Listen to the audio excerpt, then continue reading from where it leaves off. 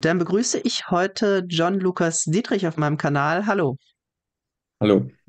Du bist vom ähm, BSW Sachsen-Anhalt. Du bist da sogar einer der Landesvorsitzenden. Erzähl erstmal, wie bist du überhaupt zum Bündnis Sarah Wagenknecht gekommen?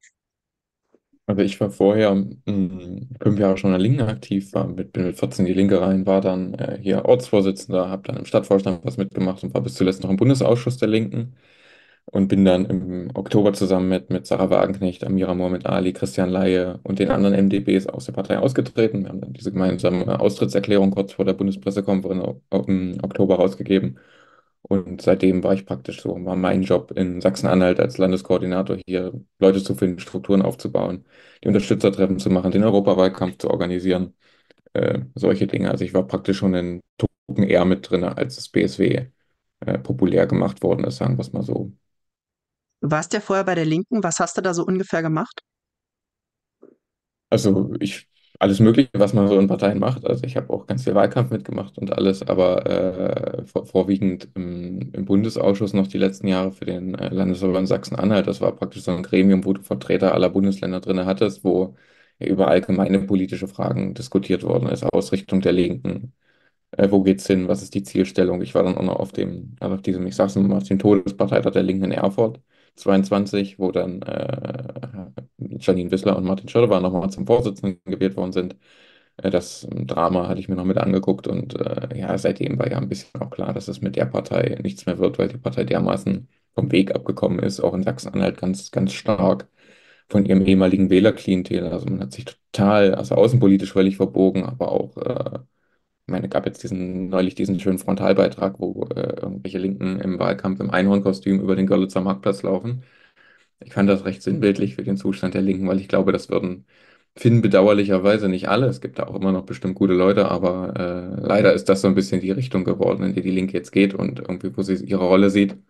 Und äh, ja, dann habe ich aber die Rolle der Linken nicht gesehen und da haben, glaube ich, auch alle anderen, die die Partei im Oktober und auch danach verlassen haben, überhaupt nicht die Rolle der Linken gesehen. Und deshalb haben wir dieses äh, neue Projekt aufgesetzt, was ja sicherlich in einigen Punkten sozialstaatlich eben wie die Linke drauf ist, aber in den jetzt kulturellen Fragen ist ja auch immer das, was man erzählt, kulturell konservativ, Sarah sagt immer linkskonservativ, in die Lücke äh, reingeht und sich da ähm, aufbaut. Ja, und du bist dann äh, Landeskoordinator in Sachsen-Anhalt geworden. Wie ist denn da der Aufbau gelaufen? Ich meine, ich hatte ja jetzt schon ähm, Jens Dietzmann vom BSW Sachsen zu Gast. Die, die mussten sich ein bisschen beeilen, weil sie Landtagswahlen und Kommunalwahlen hatten. Aber ihr hattet da ja ein bisschen mehr Zeit. Wie ist das bei euch gelaufen? Ja, ich sag mal, der Prozess läuft noch. Also wir sind, äh, haben Unterstützertreffen gemacht. Wir haben ja dieses, diese Unterstützerformulare, die man im Internet ausfüllen kann, haben wir Treffen gemacht in jedem Landkreis haben Gruppen gebildet, haben mit Stammtische gebildet und haben dann erstmal unser Hauptfokus lag auf dem Europawahlkampf. Da hatten wir, ähm, haben wir es geschafft, aus dem Nichts flächendeckend in Sachsen-Anhalt den Wahlkampf zu stemmen, mit Plakatieren, mit Wahlständen, mit allem Möglichen und haben dann schlussendlich am 5. Juni in Magdeburg noch eine große EU-Wahlkundgebung mit äh, Sarah Wagenknecht, Fabio De Masi und Michael Lüders gehabt die auch super besucht war, waren über 1000 Leute da und das waren halt so alles so diese, ähm, ja, erstmal so An Anfangsschwierigkeiten, irgendwie Wahlkampf zu organisieren. Da lag unser Hauptfokus drauf. Danach war für uns eine ruhige Nummer. Also ich bin dann in Thüringen gewesen, habe damit Wahlkampf gemacht, war gestern noch in Brandenburg an der Havel, auch eine Kundgebung mit, mit Sarah Wagenknecht und Robert Krumbach aus Brandenburg war und äh, habe dann da am Wahlkampf mitgeholfen, aber in Sachsen-Anhalt lag unser Hauptfokus auf dem Strukturaufbau und wir haben jetzt letzte Woche Samstag einen Landesverband gegründet, also ganz formal, dass es jetzt auch einen BSG-Landesverband Sachsen-Anhalt gibt, haben da unten Landesvorstand gewählt, Geschäftsführung, Schatzmeisterei, Beisitzer, dann die ganzen Kommissionen, die man wählen muss, also praktisch diese ganzen eher trockenen Parteiformalia gemacht, aber jetzt können wir so uns äh, Vorstand konstituieren, jetzt den Aufbau weiter koordinieren und haben dafür auch mal eine, einen festen Strukturrahmen, in dem wir arbeiten können als Landesverband. Das ist schon ein Programm? Nee, ein Programm haben wir noch nicht. Bei uns drängt das nicht so doll, weil unsere äh, Landtagswahl ist erst 26. Ähm, Juni 26, glaube ich, ist geplant und das ist noch so weit weg. Also unser Hauptfokus liegt jetzt erstmal darauf, dass wir uns, sag ich mal, als Partei richtig aufstellen, äh, auch einen Organisationsprozess nochmal ein bisschen idealisieren, gerade für den Bundestagswahlkampf nächstes Jahr. Und dass wir parallel dazu, das, was wir im Bund gerade schon machen, nämlich Expertenräte aufsetzen, dass wir das auch im Land machen und dass wir dann unser Landtagswahlprogramm ähnlich wie in Thüringen, Sachsen-Brandenburg, da hat das ein bisschen aber alles schneller gemusst, dass wir da unser Programm ähm, aufsetzen und auch mit Expertise unterfüttern. Aber das ist bei uns noch wirklich ein Stück weg. Darum haben wir da jetzt noch nicht so den Hauptfokus drauf. Ja, ja, dann ähm, ist das ja jetzt ein bisschen entspannter, weil du hier dann immer nur deine Privatmeinung zu diesen Landesthemen abgeben kannst. Ähm, als ich Jens Dienstmann zu Gast hatte, der hatte ja in Sachsen tatsächlich schon ein richtiges Programm, auf das er sich immer beziehen konnte. Das habt ihr äh, noch nicht. Aber erzähl mal, was sind in Sachsen-Anhalt die drängendsten Probleme? Also ich glaube, das Hauptproblem ist wie in den meisten Ostländern, aber eigentlich überall, aber in den Ostländern noch ein bisschen stärker, glaube ich, die, die Bildung, also Lehrermangel, ähm, Schulsterben, beziehungsweise in Sachsen-Anhalt haben wir die Lage, dass unsere Bildungsministerin von der CDU einen Gesetzentwurf auf den Weg bringen will, dass äh, die Mindestschülerzahl an Grundschulen nach oben setzt, nämlich von jetzt 15 auf 25. Das heißt, eine Grundschulklasse muss mindestens 25 Leute haben und eine Schule muss, glaube ich, aber da habe ich jetzt die Zahl nicht ganz fest im Kopf, 120 oder 150 Schüler mindestens haben, sonst wird sie geschlossen. Das ist, ähm, führt dazu, dass jede dritte Grundschule außerhalb unserer großen Städte, also außerhalb von Magdeburg, Halle und Dessau, beträfe das jede dritte Grundschule, was dazu führt, dass massenhaft Grundschulen zusammengelegt werden müssten. Ähm, und dass vor allem die Fahrtwege länger werden, weil Sachsen-Anhalt ist ein extrem ländliches Bundesland. Also wir haben extrem große, weitläufige Flächen. Im Norden von Sachsen-Anhalt ist die Altmark. Das ist so, würde ich sagen, der dünn besiedelste Fleck überhaupt in Deutschland. Weil da wohnen ganz, ganz wenig Leute auf ganz, ganz viel Fläche was dann dazu führt, aber wenn die die Grundschulen dicht machen, und da gibt es eben noch diese ganz dörflichen Grundschulen, dass die Fahrtwege noch viel länger werden. In Sachsen-Anhalt sind die Distanzen schon, obwohl eben vergleichsweise wenig Einwohner. Also 2,1 Millionen Einwohner haben wir aber trotzdem extreme Wege. Also jetzt schon, ich merke das jetzt, ich war jetzt die letzten Monate viel in Sachsen-Anhalt unterwegs. Man fährt sehr, sehr lange, sehr, sehr weite Strecken und das würde dann eben auch die Schüler betreffen. Äh, das trifft dann aber auf einen nicht, also praktisch nicht ausgebauten ÖPNV, wenn auf dem Dorf irgendwie zweimal am Tag ein Bus kommt äh, bietet sich das einfach nicht an, da zu pendeln, sondern hier fahren wirklich noch die allermeisten mit Auto. Das Auto ist hier so das Haupt Hauptverkehrsmittel und darauf sind die angewiesen, aber ein Grundschüler und ein, äh, auch ein, ein Hauptgesamt- oder Gymnasialschüler hat eben noch keinen Führerschein, äh, was dazu führt, dass entweder die Eltern pendeln müssen, die Schül äh, Schüler dann mit Bussen oder so, die es fast nicht gibt. Und das bewegt hier gerade ziemlich viele Leute weil die ähm, das ziemlich aufregt. Also wir haben zusätzlich zu diesem großen Lehrermangel, den es schon lange gibt, also es fällt sehr, sehr viel Unterricht aus. Wir haben in einigen Schulen, das war neulich im Nachbarlandkreis, war mir das, das ist eine Skandal, sorry, dass eine äh, Schulabdeckung nur noch von 65 Prozent gewährleistet ist. Also normalerweise strebt man ja immer 105 bis 110 Prozent Unterrichtsabdeckung an, damit, wenn was ausfällt, äh, die Lehrer im Notfall eingreifen können. Wir haben, schaffen hier meistens so um die 90. Äh, aber die Zahlen gehen immer weiter nach unten. Und es gibt an einigen Landschulen halt wirklich die Situation, dass die manchen Tags Unterrichtsabdeckungen von 70 Prozent oder so haben, wo dann halt von dem normalen Unterricht, der eigentlich gestellt werden müsste, schon 30 Prozent wegfällt. Da kann man über Vertretung und so erst gar nicht mehr nachdenken. Ich gerade sagen, werden bei glaube ich, dieser, werden bei dieser Zahl nicht sogar Vertretungsstunden mitgerechnet bei der Abdeckung? Nee, nee, darum ich glaube nicht. Darum streckt man ja immer diese 105 bis 110 Prozent an. Also ja, so, wenn man jetzt damit rechnet, dass ein Lehrer lange krank ist, schon, aber es kann ja mal passieren, dass ein Lehrer morgens nicht zur Schule kommt, weil erkältet, was weiß ich, Unfall. Und dass man da eben abdecken kann. Aber selbst also davon sind wir schon ganz lange weit weg. Das Problem ist, man hat in Sachsen-Anhalt halt die Lehrerausbildung oder die Lehramtsausbildung in den Anfang der 2000er Dollar nach unten geschraubt. Also man hat aus Magdeburg zum Beispiel als Landeshauptstadt die äh, Lehrerausbildung nahezu komplett weggelegt nach Halle und in Halle einen sehr, sehr hohen NC für die Studiengänge eingeführt. Also die meisten Lehramtsstudiengänge haben in Halle einen NC von 1,3, 1,4 oder so. Das, äh, ich meine, wer jetzt ein 1,1er Abi hat, studiert im Regelfall, also außer es ist sein Herzensjob jetzt nicht Lehramt, sondern die suchen sich dann was anderes. Und das in Magdeburg haben wir es komplett weggelegt. Da legt man es jetzt wieder hin. Also ich zum Beispiel studiere auch in Magdeburg jetzt wieder Lehramt, bin einer der ersten Studiengänge in Magdeburg, die hier wieder an die Uni gekommen sind und merke das da halt sehr präsent, dass wir einen totalen, auch in der Lehramtsausbildung totale Defizite haben. Also wir haben eine extrem volle Studiengänge, Seminare mit 90 Leuten oder so. Und das ist in Sachsen-Anhalt, würde ich sagen, ein sehr, sehr großes Thema, weil die letzte DDR-Lehrergeneration geht jetzt praktisch in Rente. Und darauf hat man sich immer noch lange gestützt. Die, das, was man aus der DDR übernommen hat an Lehrer, die haben lange den Unterricht noch abgedeckt, aber jetzt sind wir halt an der Stelle, wo die das überhaupt nicht mehr können. Also wo der Nachwuchs dringend nötig wäre, aber der Nachwuchs kommt eben nicht, weil äh, die Lehramtsstudienzahlen sind zu niedrig. Die, we- die meisten brechen ab, das Studium. Also Lehramt ist in Sachsen-Anhalt auch eins der Studiengänge, die am meisten abgebrochen werden.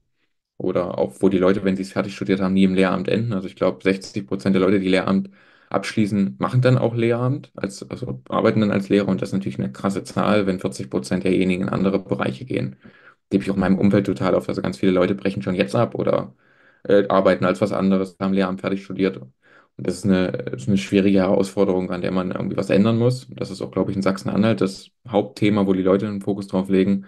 Und das zweite Hauptthema ist äh, auch in Sachsen-Anhalt natürlich für viele total Migration.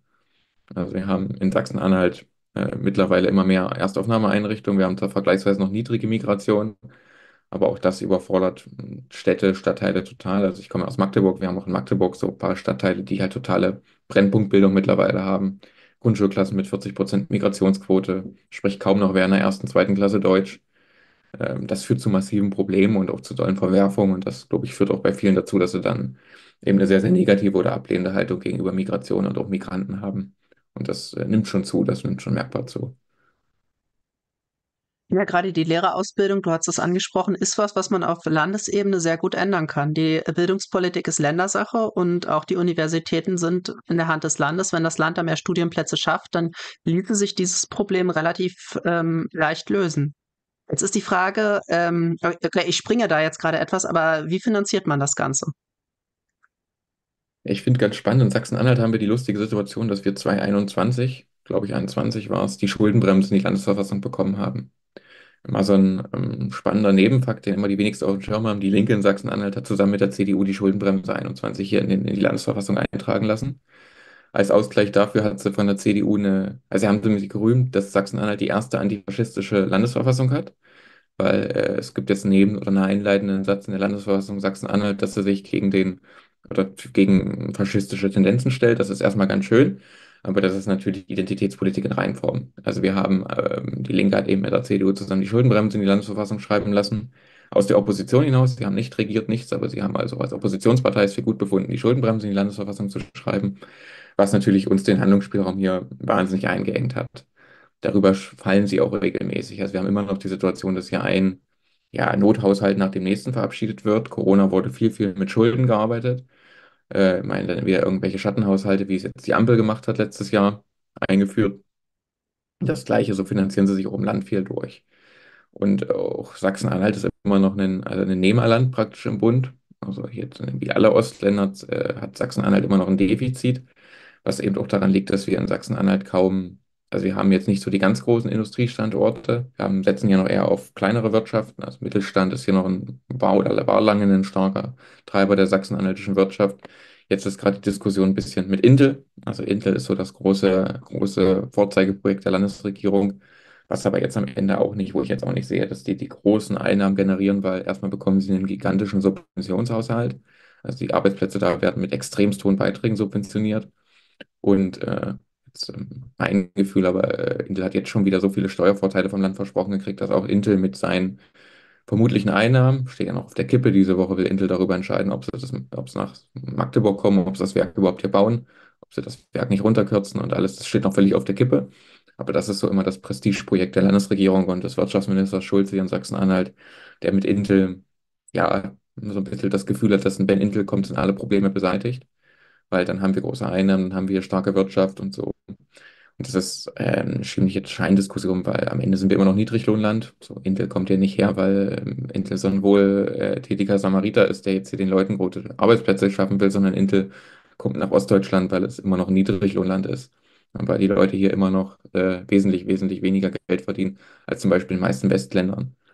Und das ist, ähm, das sollte man immer mit erwähnen. Wir haben zum Beispiel in Sachsen-Anhalt auch die Situation, dass Männer und Frauen äh, nahezu gleich viel verdienen, aber das liegt nicht daran, dass wir so emanzipatorisch fortschrittlich sind, sondern dass hier alle so näher also am Niedriglohn arbeiten, dass die Differenzen äh, gar nicht so hoch sein können, weil alle kurz oder der Mindestlohnschwelle arbeiten.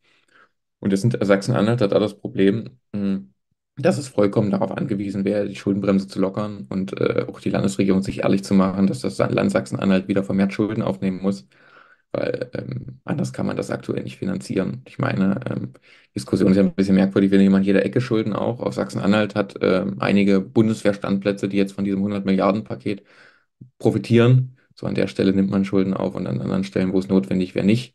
Zusätzlich äh, knallt hier die Linke noch die Schuldenbremse mit in die Landesverfassung. Das sind alles total schwierige Umstände, aber ich sehe als einzige Option in Sachsen-Anhalt, dass man ähm, so wirtschaftet, dass man jetzt erstmal Schulden aufnimmt und die ganze Infrastruktur, die am Boden liegt, mal wieder ausfinanziert. Weil wir haben ja auch, die Kommunen sind alle nahezu vor der Insolvenz, also die meisten Kommunen in Sachsen-Anhalt sind hoch verschuldet. Ähm, da kann im Stadtrat beschlossen werden, was will, aber es wird halt nicht umgesetzt, weil der Finanzhaushalt so tief im Minus steht, dass hier nichts, nichts mehr real in der Kommune umgesetzt werden kann. Ja, das ist ja überall so, wo du äh, gerade keinen Großkonzern in der Stadt hast, wo du, also in jeder etwas ländlich gelegeneren Kommune oder in jeder Kommune, wo die alte Industrie abgewandert ist, hast du das Problem, dass der Kommunalhaushalt nicht finanziert werden kann und über zu, aus, äh, durch, aus Zuschüssen vom Bund oder vom Land lebt. Das heißt, es braucht eine Übernahme der Altschulden der Kommunen. Und das, auch das geht nicht durch die Schuldenbremse. Das heißt, du bist für eine Aussetzung der Schuldenbremse. Ich meine, eine ja, denn ähm, du hast gerade gesagt Lockerung, denn eine Lockerung beziehungsweise eine Reform, da bräuchte man ja eine Zweidrittelmehrheit, aber für eine Aussetzung, das ist ziemlich interessant, da braucht man nur eine einfache Mehrheit im Landtag. Also das ist realpolitisch sogar sehr viel einfacher umzusetzen, als das ganze Ding zu reformieren. Ja, machen, machen sie ja bei uns auch die ganze Zeit. Also praktisch jährlich wird in Sachsen-Anhalt, wenn der Landeshaushalt ansteht, die Schuldenbremse ausgesetzt. Ich finde es immer so spannend, das sind die gleichen Leute, gibt es ein totales Defizit zwischen Kommunikation und Realpolitik. Die gleichen Leute stellen sich jedes Jahr in die Kamera und sagen, wir müssen die Schuldenbremse noch straffer machen und so. Das ist ein totaler Widerspruch in der öffentlichen Kommunikation. Das ist ja überall so. Und gerade hier, meine, äh, das ist ja immer die, die Situation, mit der man konfrontiert ist, auch mit der wir oft konfrontiert sind. Die Leute, nehme ich ihnen nicht übel, aber so, das im Kopf ist immer die schwäbische Hausfrau, die äh, ihre Einnahmen hat und ihre Ausgaben hat. Und das, dieses Bild schürt ja die, zum Beispiel die CDU in Sachsen-Anhalt auch massiv. Also sie äh, setzen fast jährlich die Schuldenbremse aus. Während Corona haben sie das ganz krass gemacht und äh, nutzen das auch als, also ist ihr realpolitisches Mittel, um hier noch Dinge durchzufinanzieren, aber gleichzeitig sagen sie jede Kamera äh, die Schuldenbremse und die Schuldenbremse und äh, jeder ist böse, der gegen die Schuldenbremse ist. Ja, das ist schon ein Widerspruch. Also natürlich bin ich absolut gegen die Lockerung, aber es ist realpolitisch gerade nicht drin, darum ist es die Aussetzung. Ähm, das aber, das tut die CDU spannenderweise auch. So die ganzen letzten Regierungen der in Sachsen-Anhalt seitdem, sage ich mal, Sachsen-Anhalts Wirtschaft nochmal in den letzten Jahren doller eingegangen ist, ähm, gehen sie noch verstärkt auf diese Mittel seit Corona ganz krass. In Corona haben sie ja nochmal ähm, irgendwelche Sondervermögen geschaffen, äh, auch in Sachsen-Anhalt nochmal eigenständige Sondervermögen, zu denen die im Bund sowieso geschaffen worden sind. Ja, das ist schon ganz spannend. Und was ich immer so interessant finde, ist, wir müssen uns die ganze Zeit anhören, dass wir äh, die Bösen sind, die jetzt die Schulden machen wollen und das Land und die Einnahmen und das ist alles ganz schrecklich, was wir fordern. Aber die gleichen Leute machen das jedes Jahr in ihrem Haushaltsentwurf genauso fest und lügen die Leute vollkommen an. Ja, es geht ja auch gar nicht anders. Wenn die Wirtschaft schrumpft, dann muss der Staat sich verschulden, damit sie ähm, zumindest mal aufhört zu schrumpfen. Ansonsten schrumpft sie immer weiter, sich selbst verstärkender Abwärtstrend. Keine Regierung kann entgegen dieser Logik handeln. Also es, man sieht das ja auch gerade auf Bundesebene. Die Ampel sagt ja auch, wir halten uns an die Schuldenbremse, aber wir haben ja noch zehn Schattenhaushalte, die teilweise sogar illegal sind, vom Bundesverfassungsgericht zumindest so bestätigt. Und wir haben ja noch das Sondervermögen von der Bundeswehr, was wir noch mit zwei Drittel mehr in der Verfassung geschrieben haben. Aber sonst halten wir uns an die Schuldenbremse. Also wie du es gerade gesagt hast, das, das ist ja äh, Volksverarsche sondergleichen. Ja, ne, ich finde das so total spannend. Die gleichen Leute, die, also dieses Wirtschaften, ich weiß nicht, ob sie es nicht verstehen oder irgendwie die Leute nur bösartig anlügen, aber das sind die, die Leute machen das permanent in ihrer Politik, aber erzählen den Leuten auch hier ganz, ganz krass, wir müssen Schuldenbremse einhalten, wir dürfen uns nicht weiter verschulden und die Kommunen und alles. Und immer dann wird die Schuldenbremse ausgeholt, wenn es mal um was geht, was jetzt vielleicht nicht Militär ist und was jetzt vielleicht nicht wieder Subventionierung von irgendwelchen großen Unternehmen ist, dann ist die Schuldenbremse sofort da. Also wir hatten in Sachsen-Anhalt, in Magdeburg die Situation, dass hier ein Schülerticket eingeführt werden sollte, dass äh, Schüler von Grund- und äh, bis zur 10. Klasse, glaube ich, kostenlos ÖPNV fahren dürfen äh, und zur Schule kommen. Das ist in Sachsen-Anhalt, in Magdeburg noch einer der wenigen Orte, wo das auch geht, weil wir hier den ÖPNV haben. Äh, Da wurde dann aber lange drumherum lamentiert. Der Stadtrat hat es zwar beschlossen, aber äh, dadurch, dass der, die, die Kommune unterfinanziert war, wurde es erstmal lange nicht umgesetzt. Der Landesrechnungshof hat den Zeigefinger ausgestreckt und gesagt, nee, nee, das kann man so nicht finanzieren. Und natürlich die ganzen Leute von, weiß ich nicht, CDU, FDP, auch auf Landesebene haben dann, ja, wir haben die Schuldenbremse, das geht doch nicht, wir können uns nicht verschulden. Äh, das ist immer das, was sie den Leuten erzählen, wenn es um Ausgaben geht, die jetzt vielleicht mal der Gemeinheit nützen würden und nicht irgendwelchen Großkonzernen. Das ist schon, finde ich, immer ganz spannend, die Differenz dazwischen. Hm.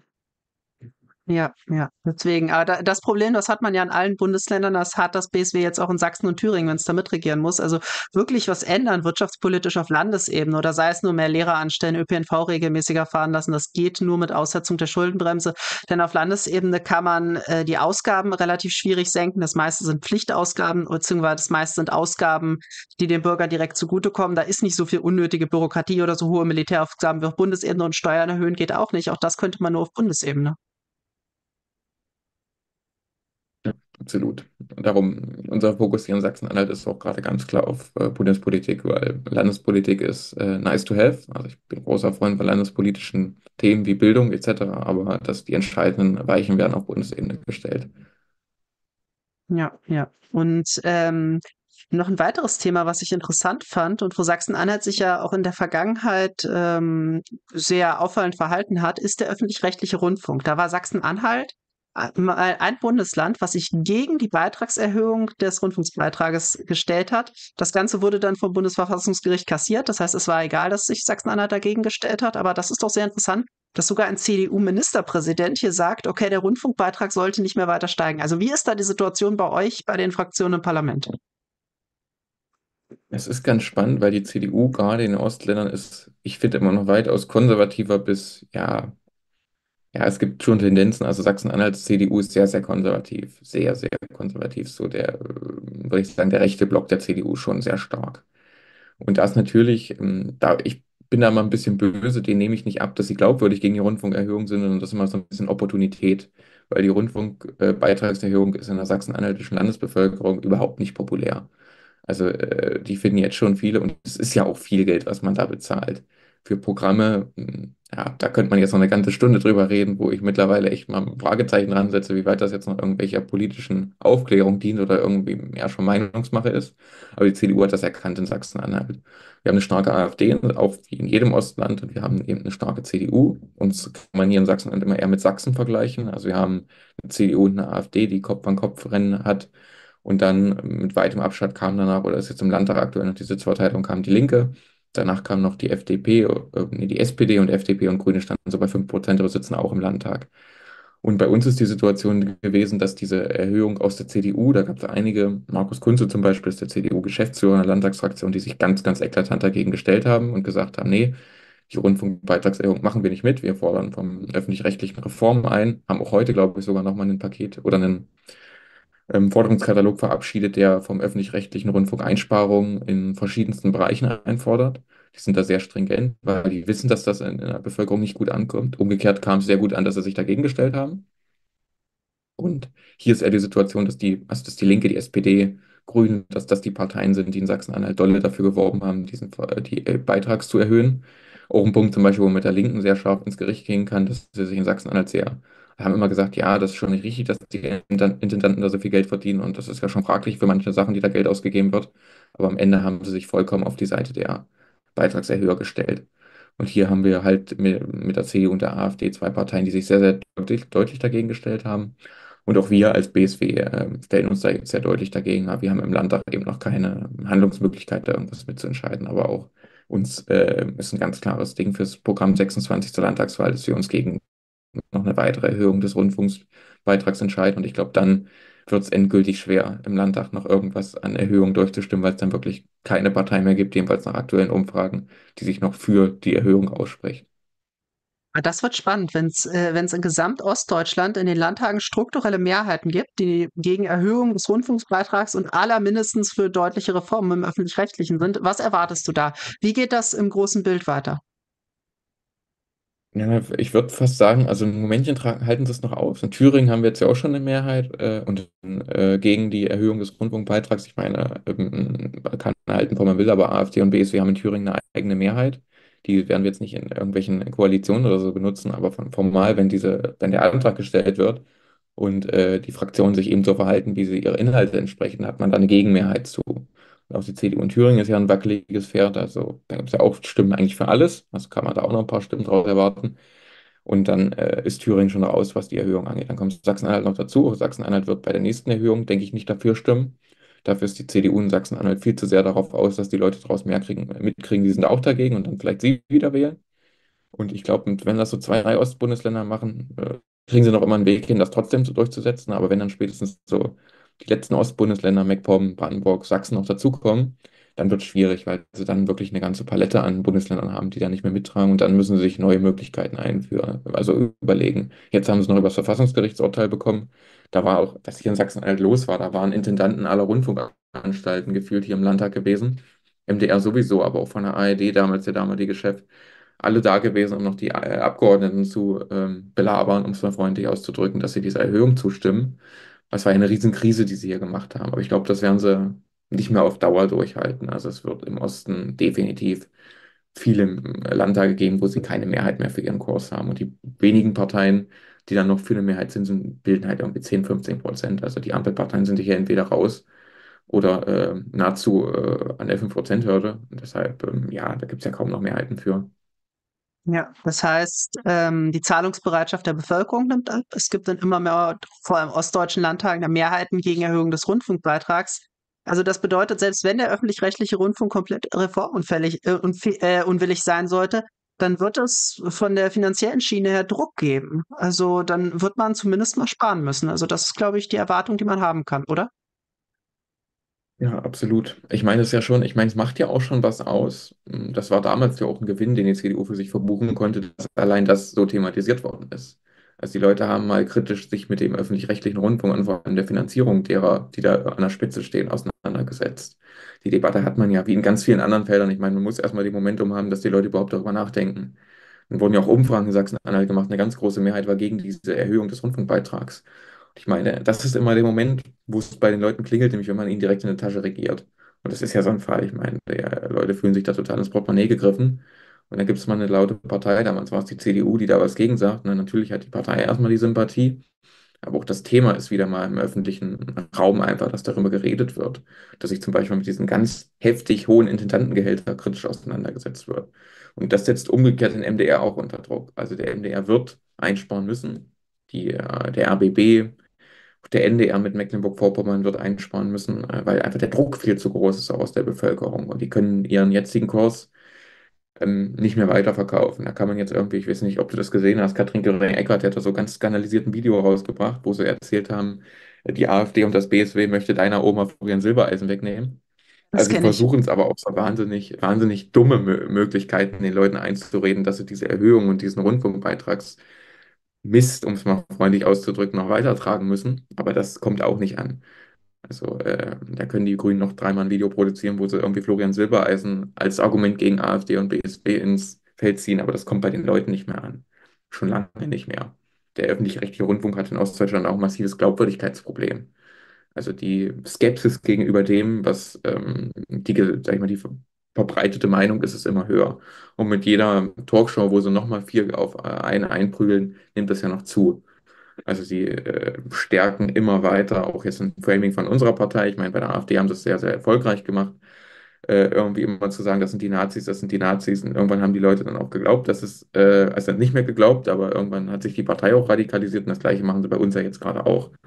Also wenn irgendwie beim ZDF eine Überschrift ist äh, äh, von Kowalczuk als Artikel, Sarah Wagenknecht wäre gerne die deutsche Putinova oder so, das ist ja, also ist ja nicht mal mehr annähernd irgendwie neutral oder seriös berichtet. Und das sehen die Leute ja auch. Also niemand liest den Artikel und denkt sich, oder die wenigsten denken sich, ja, der Mann hat recht. Gerade im Osten nicht. Die lesen den Artikel und denken, haben die noch alle Tassen im Schrank. Weil das, das können sie nicht mehr verkaufen durch so eine Überzeichnung des politischen Gegners in, in den ganzen öffentlich-rechtlichen Sendungen, nimmt das Vertrauen wahnsinnig schnell ab. Ja, besonders int interessant fand ich diesen einen Artikel aus der, aus der Tagesschau. Sind BSW-Wähler rechtsextrem, so in dem Sinne? Und dann wird als Beleg eine Ja, Studie angeführt, die finanziert wurde von der Open Society Foundation und wo nicht mal belegt wurde, dass BSW-Wähler rechtsextrem sind, sondern wo sie einfach nur gesagt haben, äh, ja, ich fände es schon gut, wenn äh, wir ein stärkeres Nationalgefühl hätten. Also das war die Aussage. Und daraus hat dann diese Studie gemacht, Zustimmung zu rechtsextremer Aussage, stärkeres Nationalgefühl. Und das ZDF hat dann daraus gemacht, Zustimmung zu Diktatur und mehr Nationalismus. Also nicht das ZDF, die ja, Tagesschau war das. Also das ist die Art und ja, Weise, wie die öffentlich-rechtlichen da Berichterstattung machen. genau. Und das, das sehen ja die Leute auch. Ich meine, das finde ich jetzt bei uns noch einen Tucken stärker als bei der AfD, das zu bringen, weil bei uns sehen es die Leute, also das ist schon noch ein Unterschied zwischen unserer Wählerschaft und der AfD-Wählerschaft. Es gibt bei der AfD sicherlich gefestigte völkische Gesinnungen, aber die wirst du bei BSW-Wählern nicht vorfinden. Also ich bin ja jetzt viel unterwegs, habe mit vielen Unterstützern Wählern. Das ist die breite Masse der Bevölkerung. Das ist wirklich die breite Masse der Bevölkerung. Die wissen, dass nicht Putin bei ihnen im Kleingarten sitzt und ihnen sagt, was sie über den Krieg zu denken haben. Die wissen, dass sie äh, keine völkischen Gesinnungen haben und die sind zu großen Teil auch eine ganz spannende Sache. Nicht in dem Sinne irgendwie, was sie da unterstellt würden, irgendwie ausländerfeindlich, rassistisch, sondern wir haben ganz im Gegenteil in unseren Kreisen sehr, sehr viele Leute mit Migrationshintergrund. Also sehr, sehr viele Leute, die äh, nach Deutschland äh, migriert sind. Gestern Abend war Sherwin Hakschenow in der Münchner Runde gewesen, hat das nochmal ganz deutlich gesagt, da gibt es einfach einen Unterschied. Aber den Leuten jetzt zu erklären, sie wären ausländerfeindlich, sie wären rassistisch und sie würden irgendwie äh, Putins äh, Pressesprecher sein, das, ich meine, das wissen die Leute ja. So, den Leuten da immer reinzureden und ihnen zu erklären, was sie denken, äh, das stößt natürlich übel auf.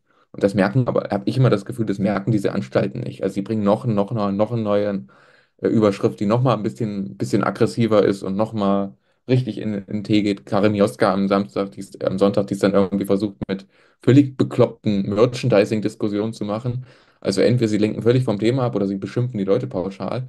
Und das, das kommt halt nicht an. Aber ich hab, ich bin immer total schockiert, dass es die Journalisten und Redakteure nicht irgendwann mitkriegen. Also sie machen immer weiter und immer weiter und sie kommen dann wieder in die nächste Krisenreportage nach Ostdeutschland und stellen Ostdeutschland so dar, als wären wir hier irgendwie, weiß ich nicht, äh, irgendwie Steppe, afrikanische Steppe, wo keiner wohnt und nur die, die, weiß nicht, ganz, ganz Ausstämmigen hier noch ihre Lehmhütten haben. So hat diese Berichterstattung manchmal den Charakter und dann be beobachten sie, was macht der Ostdeutsche, wie verhält der Ostdeutsche sich und äh, verstehen überhaupt nicht, dass da diese ganz große Skepsis gegenüber ihrer Berichterstattung ist. Also die kommen einfach nicht aus ihrer Blase raus und das finde ich total faszinierend. Mhm. Ja, absolut. Ähm, es sind gerade noch ein paar Zuschauerfragen reingekommen. Ich glaube, ähm, das eine Thema, das hatte ich schon bei Alexander King, da wirst du wahrscheinlich ähm, auch sagen, ja klar, nach den nächsten Bundestagswahlen ähm, werden wir uns daran machen, Corona-Aufarbeitung. Was denkst du darüber? Also wir haben gerade im Bund, bauen wir gerade Expertenräte auf. Und wir haben jetzt auch einen Expertenrat schon der Corona-Aufarbeitung, der wird von Friedrich Pörner geleitet. Das ist ein recht renommierter Arzt aus Bayern, der hat damals das Gesundheitszentrum geleitet, wurde dann von Söder rausgeschmissen, weil er äh, Kritik an der äh, bayerischen Corona-Politik geäußert hat. Und den haben wir jetzt auch ins Europaparlament gewählt. Äh, der sitzt ja auch für das BSW im Europaparlament. Und er hat mit vielen renommierten Medizinern jetzt einen Expertenrat gegründet. Die treffen sich jetzt ein paar Mal. Und da wird unser Programmteil für die Bundestagswahl, äh, was Corona-Aufarbeitung angeht, ausgearbeitet. Also auch unser Ziel ist es auch richtig, im äh, Wahlprogramm zur Bundestagswahl schon einen Abteil Corona-Aufarbeitung drin zu haben. Versuchen wir es jetzt schon, das ist immer ein bisschen schwierig, weil wir nur zehn Abgeordnete sind, aber mit äh, Jessica Tatti hat schon mehrfach versucht, Corona-Aufarbeitung auch mit äh, Anfragen, aber auch mit Redebeiträgen im Bundestag wieder zum Thema zu machen. Und hat auch, das war, glaube ich, vor zwei, drei Monaten, haben sie eine PM rausgegeben, wo wir auch nochmal deutlich den ja, Untersuchungsausschuss zu Corona gefordert haben. Und das sind alles äh, Forderungen, die werden jetzt, wie gesagt, in diesem Expertenrat ausgearbeitet. Da sind viele renommierte Mediziner drin, also auch wirklich Leute, die Ahnung von dem Bereich haben. Zum Beispiel, ich kann offen sagen, ich habe von dem Bereich überhaupt keine Ahnung. Äh, ich war einfach Konsument dieser Corona-Pandemie, aber habe da überhaupt nicht den Einblick auch in diese RKI-Files und so, wie es jetzt ein Friedrich Pörner hat. Und der, wie gesagt, baut für uns diesen ähm, Untersuchungsausschuss oder diesen Expertenrat auf, der dann eben zum Beispiel einen Untersuchungsausschuss fordert, aber auch ganz konkrete Corona-Aufarbeitungsmaßnahmen mit ins Bundesprogramm schon reinschreibt. Also uns ist auch wichtig, dass wir in die Bundestagswahl 25 mit dem Programmteil Corona-Aufarbeitung reingehen. Das haben wir jetzt auch in Sachsen und in Thüringen im Landtagswahlprogramm immer nicht so lang, aber Sabine Zimmermann hat es in Sachsen nochmal thematisiert, Corona-Aufarbeitung. Und ähm, das spielt schon eine Rolle. Und ich bin da auch ganz froh, dass wir Leute wie Friedrich Pörner da haben, weil, wie gesagt, ich habe da zum Beispiel überhaupt keine Kompetenz drin. Also es gibt viele, äh, die das auch, also ich habe die Corona-Pandemie miterlebt, alles, aber würde mir da nie ein Urteil zu erlauben und finde deshalb sehr, sehr gut, dass wir da solche schon renommierten Stimmen drin haben. Da kann man, glaube ich, sagen, Untersuchungsausschuss, den wird es ziemlich sicher geben. AfD und BSW werden zusammen auf mehr als 25 Prozent kommen. Beide fordern Corona-Untersuchungsausschuss. Das reicht im Bundestag, um den zu beantragen. Also da, das ist, glaube ich, ein Thema, wo man auf jeden Fall dranbleiben muss. Ich denke auch. Ich bin auch ganz, also ich habe ja Friedrich Börner jetzt zwei, drei Mal schon erlebt. Der ist auch da sehr, sehr, sehr, sehr, sehr hinterher. Er hat auch in Bayern mehrere Vorträge zur Corona-Aufarbeitung gegeben. Was jetzt im Europaparlament, da ist natürlich die Wirkreichweite immer ein bisschen begrenzt, weil ja, ähm, Europa ja, ist immer sehr, sehr weit weg und niemand hat Europa auf dem Schirm. Aber ich finde find gut, dass wir uns da sehr stark und deutlich positionieren. Und ich glaube auch, wenn, wenn das, wenn wir auf, da auf dieses Viertel Mehrheit bekommen, dann äh, Viertelstimmen bekommen, dann könnte ein Untersuchungsausschuss auch schon realistisch sein.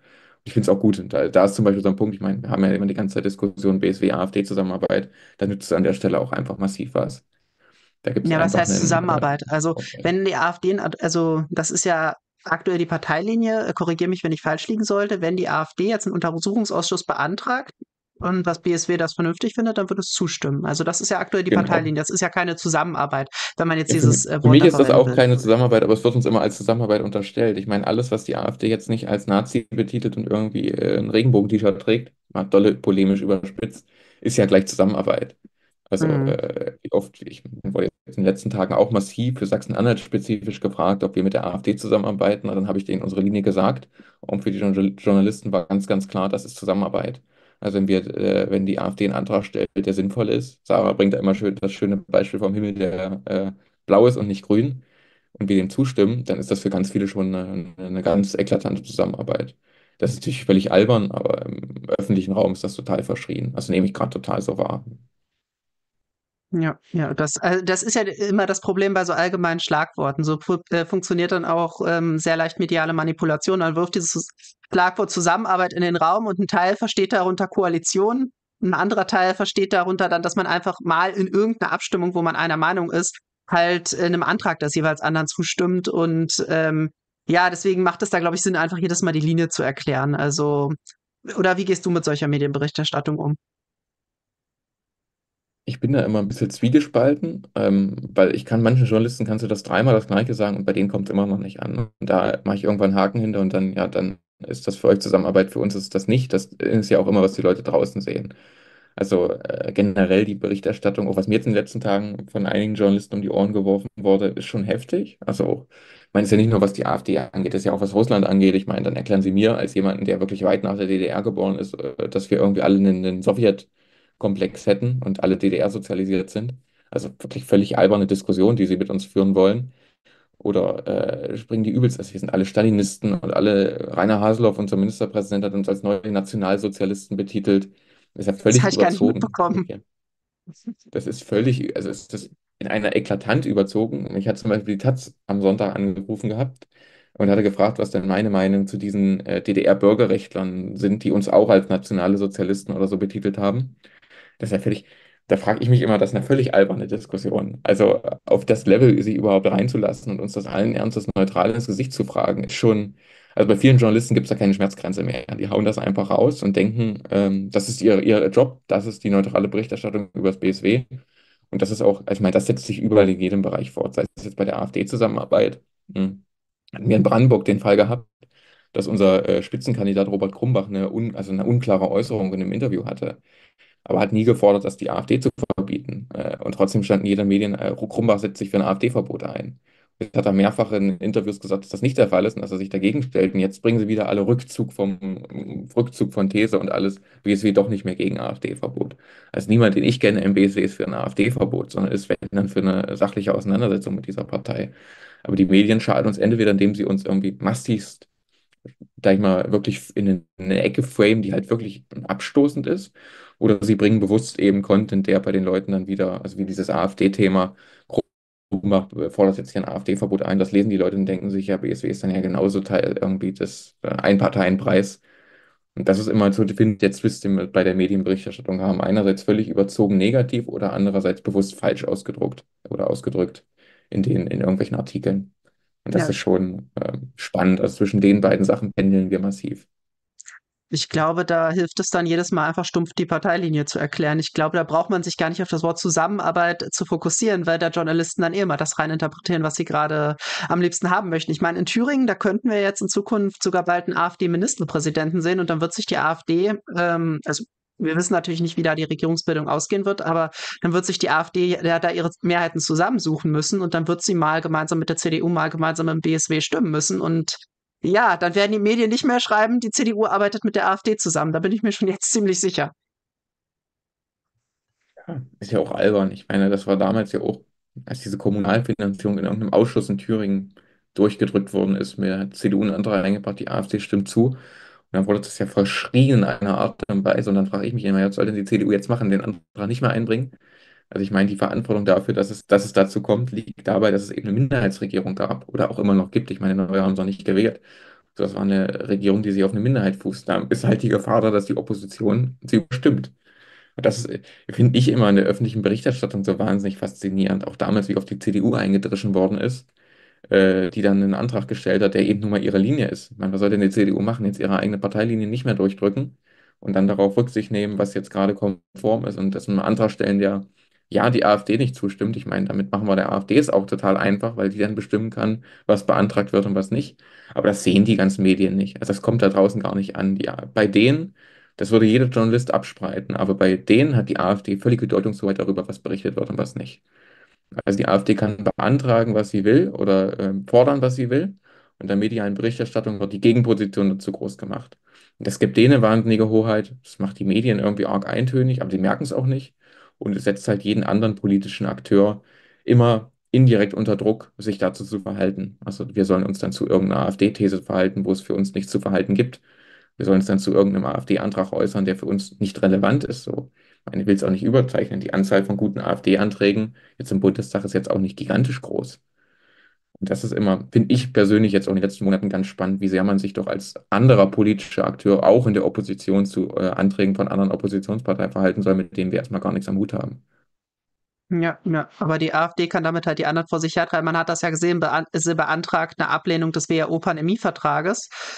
Dann äh, also es schadet einem ja nicht, wenn man da zustimmen äh, würde, aber alle anderen Parteien hatten halt diese Linie, wir müssen das auf jeden Fall ablehnen und stimmen dann quasi für den WHO-Pandemievertrag, den die AfD so über diesen Umweg in den Bundestag gebracht hat. Also ja, obwohl der ja, noch gar nicht unterschriftsreich war oder so und obwohl so, der ja jetzt. Ich kannte diese Diskussion ja. noch, noch, vorher aus der Linken, da lief das ja genauso. Egal, was die AfD beantragt hat, man musste konsequent dagegen sein. Äh, das äh, hat man lange so gefahren. Ich meine, man hat sich da immer für seine antifaschistische Haltung ähm, gefeiert.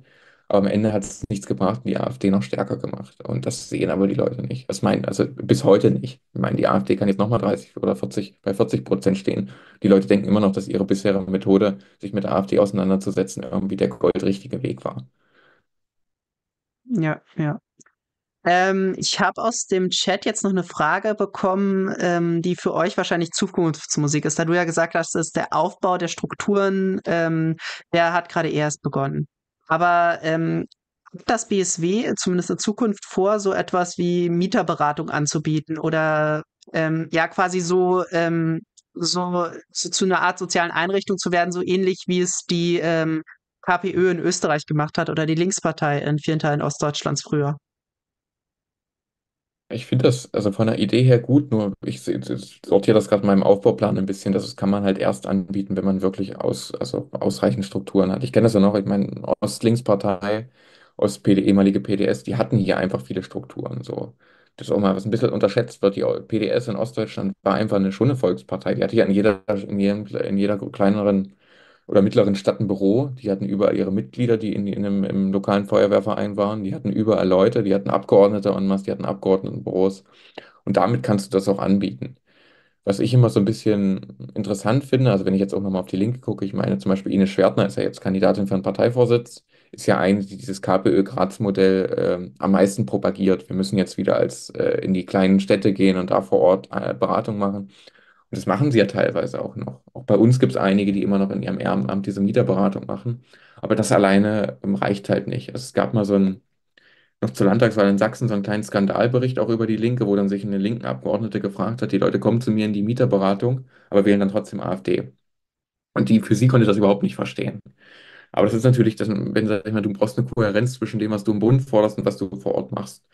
Und mein Fokus liegt persönlich jetzt vollkommen darauf, dass die, das BSW als bundespolitische Kraft aufgebaut wird, dass wir auch klar unsere Markenkerne nochmal schlagen, also dass die einfach ganz, ganz deutlich werden und dass wir darüber einen Strukturaufbau schaffen. Ich meine, es ist ja auch eine andere Ausgangslage, wenn du im Parlament drin sitzt, wenn du die Ressourcen, vor, der, sag ich mal, der, die du als Fraktion, die du als Abgeordneter bekommst, wenn du die sinnvoll einsetzt, zum Beispiel in einer Mieterberatung in deinem Wahlkreisbüro, aber auch in andere, einfach andere Wahlkreisarbeit, dass das dann kommt. Aber jetzt in der Aufbauphase, wo wir alle noch großteils im Ehrenamt hängen. Also in Sachsen-Anhalt baut der ganz große Pool. Wir haben keine Stelle, die ja hauptamtlich diese, diese Partei aufbaut, sondern jeder macht das noch zu, irgendwas dazu. Die allermeisten haben noch einen Job. Mein Co-Chef äh, in Sachsen-Anhalt arbeitet noch als Beamter nebenbei, hat da auch noch einen riesen, einen riesen Batzen an Arbeit zu tun. Und wenn sag ich wir an der Stelle sind, dass wir eine, eine ausstrukturierte Organisation einfach sind, dass wir Abgeordnete haben, dass wir Abgeordnetenbüros haben, dann sehe ich sowas wie Mieterberatung als schon ein wichtiger Stand, also ein wichtiger Bestandteil. Aber nur darauf zu setzen, wie es zum Beispiel jetzt ähm, eine Ines Schwertner oder so fordert, dass das der Hauptfokus ist, ich glaube, das ist für keine Partei eine, eine Erfolgsstrategie.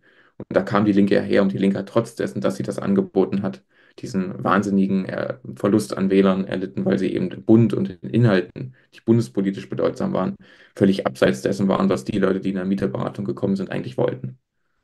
Ja, du hast das in der Linken ja miterlebt. Was meinst du, welchen Anteil hat die schnelle Beteiligung an so vielen Landesregierungen bei der Linken da, ähm, dabei gehabt, dass sie so dermaßen degeneriert ist? Mm, Schon, also ich würde sagen, dass das gar nicht allein der Grund war, aber natürlich hat sie sich darüber auch völlig verwässert. Ähm, aber es ist immer wieder wiedergekommen. Also wenn man es jetzt eine Landesregierung, die Linke hat es ja schon, zwei, oder die PDS damals noch in den frühen 2000ern in Berlin völlig vergeigt gehabt, weil sie in Berlin mit an, an der massiven Privatisierung von Wohnungen beteiligt war. Also damals der rot-rote Senat ich glaube, unter Wowereit war das damals gewesen, hat ja in Berlin massivst öffentlichen Wohnraum in privater Hände und eben zu diesen ganzen bösen Genossenschaften, äh, Genossenschaften sage ich schon, bösen Konzernen wie Vonovia und Deutsche Wohnen, genau dahin hat es ja die Linke und PDS damals geschoben. Äh, da kannst du dir viel Glaubwürdigkeit verspielen. Was, was ich ein spannendes Gespräch fand, habe ich mal länger mit Kerstin Kaiser, die war 2009 für die Linke in Brandenburg Spitzenkandidatin tritt auch jetzt wieder für die Linke an und hat äh, das Stiftungsbüro der Rosa-Luxemburg-Stiftung in Moskau lange betrieben, bis es dicht gemacht worden ist. Äh, die hat auch offen gesagt, äh, sie hatte immer eine große Skepsis in Brandenburg, als dann 2009 Rot-Rot an den Start ging und die Linke da kaum noch ihre Kernforderung durchsetzen konnte. Und das äh, ist ja das, eigentlich finde ich das ursprüngliche Problem. Ich bin jetzt niemand, der per se gegen eine Landesregierung ist, aber du musst als Partei auch deinen Markenkern damit einbringen. Und die Linke hat es immer gekonnt, in jede Landesregierung, die sie gegangen ist, ihren Markenkern über Bord zu schmeißen. Selbst in Thüringen, wo sie stärkste Kraft war, da haben sie dieses kostenfreie Kita-Jahr geschafft. Hat Ramelow einige seiner Forderungen durchgesetzt. Aber zum Beispiel im Bildungssystem. Ramelow hat in seiner Kampagne, in seiner ersten Kampagne als für den, für das Amt des Ministerpräsidenten völlig propagiert, dass die Linke im Bildungssystem ganz viel ändert. Jetzt hat die äh, Linke in zehn Jahren in äh, Thüringen mit Helmut Holter den Bildungsminister gestellt und geändert hat sich äh, realistisch kaum was. Also da ist die Lage genau die gleiche wie hier in Sachsen-Anhalt auch. Und das finde ich einen entscheidenden Punkt. Wenn man in eine Landesregierung geht, dann muss man ganz deutlich rote Linien haben. Und wenn diese rote Linien nicht erfüllt werden, dann geht man nicht in diese Landesregierung. Und, diese Landes und man darf als Partei seinen Markenkern in dieser Landesregierung nicht verwässern. Und die Linke hat in ihren Landesregierungen permanent ihren Markenkern verwässert und sich ähm, ja, auf einen Pfad gegeben, den ich schon überraschend fand. Also auch in Brandenburg waren sie an ziemlich vielen, sag ich mal, Versagnissen, die man eher so von einer CDU oder einer FDP kennt, beteiligt. Das finde ich schon spannend, aber das darf uns zum Beispiel als BSW überhaupt nicht passieren. Ja, vor allem ähm, was äh, vielfach vergessen wird, ist, dass wenn man einer Regierung beitritt, man dann als Opposition ausfällt. Also wenn die Regierung eine falsche Politik macht, aber man selbst in der Opposition ist, kann man versuchen, die Regierung zu äh, kontrollieren, zu kritisieren, medial vor sich herzutreiben. Das geht halt nicht mehr, wenn man an dieser Regierung beteiligt ist. Also äh, ja, man kann ja auch aus der Opposition zumindest bremsend auf eine falsche Regierung einwirken oder wenn man äh, wirklich gute Oppositionsarbeit macht, die Regierung sogar vor sich hertreiben, was dem BSW in der friedenspolitischen Frage in den Landtagswahlkämpfen erstaunlich gut gelungen ist. Und ich glaube, damit kommen wir ähm, jetzt mal zu einer abschließenden Frage. Ich weiß, die Landtagswahl ist noch etwas, etwas hin in Sachsen-Anhalt.